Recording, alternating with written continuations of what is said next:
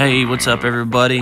Uh, Joey Cifuentes here. I was on Lake Chickamauga. That's right. Yeah, like right there at the 1st of May. Just got done with this tournament, 2019. Um, so you can see I was, was back in a little area and some pads I found up the river from Dayton Boat Dock. And, um, you know, didn't really pan out to be what I thought it was going to be. I, I uh, had a little deal in there with a shad spawn early in the morning on the pads, and uh, there was some fish spawning too in the pads. Um, caught a few decent ones like that one, you know, wasn't bad, but most of them were small.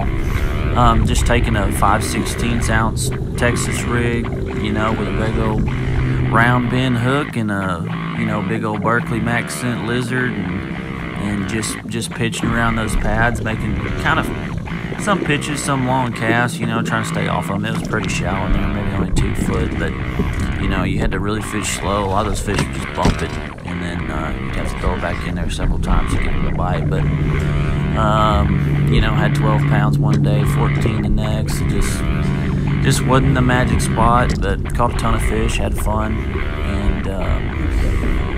forward to the next one on Champlain. Kind of bumped me down the points, about 47, so I need to make 42nd to uh, make the Forrest Wood Cup. But I appreciate you for watching.